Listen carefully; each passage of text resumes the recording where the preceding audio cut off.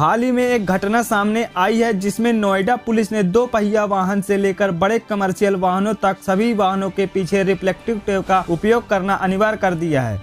इस कदम को पहले कोहरे के मौसम में कम दृश्यता के कारण सड़क दुर्घटनाओं को रोकने के लिए एक अभियान के तौर पर शुरू किया गया था, जो कि एनसीआर और उसके आसपास एक सामान्य घटना है। बिना रिफ्लेक्टर टेप के वाहन चलाया तो दिल्ली पुलिस काटेगी दस हज़ार रूपए का चालान। जी हाँ कुछ दिनों पहले यह एक प्रयोग के तौर पर शुरू किया गया था, जहाँ नोएडा ट्रैफ़िक पुलिस ने लोगों डी फ्लाई टोल प्लाजा से गुजरने वाले वाहनों पर रिफ्लेक्टिव टेप चिपकाने का अनुरोध किया, जिसके बाद अब यह प्रयोग एक आवश्यक कदम बन गया है। सभी लोग जो अब अपने वाहन पर रिफ्लेक्टिव टेप के साथ राइड या ड्राइविंग के बिना देखे जाएँगे, उन पर नोएडा ट्रैफ़िक पुलिस द्वारा दस हज़ार रूपए का जुर्माना लगाया जाएगा। जानकारी के अनुसार उक्त जुर्माने को अब मोटर व्हीकल एक्ट में शामिल कर लिया गया है। आमतौर पर सभी पैसेंजर व्हीकल और दो पहिया वाहन यातायात नियमों के तहत लाल रंग के रिफ्लेक्टर के साथ पीछे की तरफ़ आते हैं। हालाँकि कुछ कमर्शियल व्हीकल सड़क पर चल रहे हैं, जो या तो इन रिफ्लेक्टर से सुसज्जित नहीं या जानबूझकर या अनजाने में टूट गए हैं,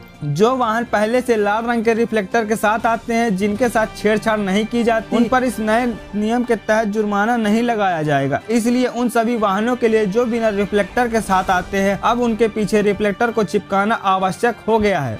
भारत में बेचे जाने वाले सभी मोटर वाहनों में टेल लैंप के नीचे या कुछ मामलों में चार पहिया वाहनों के पिछले बम्फर पर रिफ्लेक्टर लगे होते हैं, जहाँ एक और मोटरसाइकिल या स्कूटर जैसे दो पहिया वाहनों में केवल एक रिफ्लेक्टर होता है।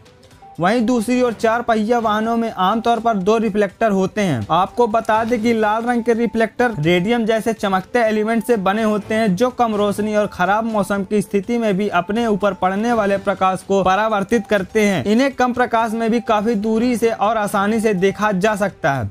रिफ्लेक्टर टेप के उपयोग के पीछे का कारण धूमिल या कम दृश्य वाले मौसम या कम रोशनी के दौरान वाहनों की कम दृश्यता भारत में सड़क दुर्घटनाओं के मुख्य कारणों में से एक है। बता दें कि ये सभी कारण सर्दियों के दौरान उत्तरी भारत में दुर्घटनाओं के प्रमुख कारणों में से एक है। ठीक और उच्च गति वाले राजमार्ग भी घने कोहरे से घिरे रहते हैं। इनके परिणाम स्वरूप कम दृश्यता होती है और ये मोटर चालकों की दृष्टि को बाधित करते हैं। उन चालकों को आगे चलते हुए वाहन दिखाई नहीं देते और दुर्घटना की संभावना बढ़ जाती है। आपको बता दें कि नोएडा के गौतम बुद्ध नगर की ट्रैफ़िक पुलिस के रिकॉर्ड के मुताबिक 2021 में कुल सात हादसे हुए, जिनमें 2021 में तीन सौ अड़सठ लोगों की जाने गई। पुलिस का मानना है कि इन रिफ्लेक्टर से सड़क दुर्घटनाओं को कम करने में मदद मिलेगी।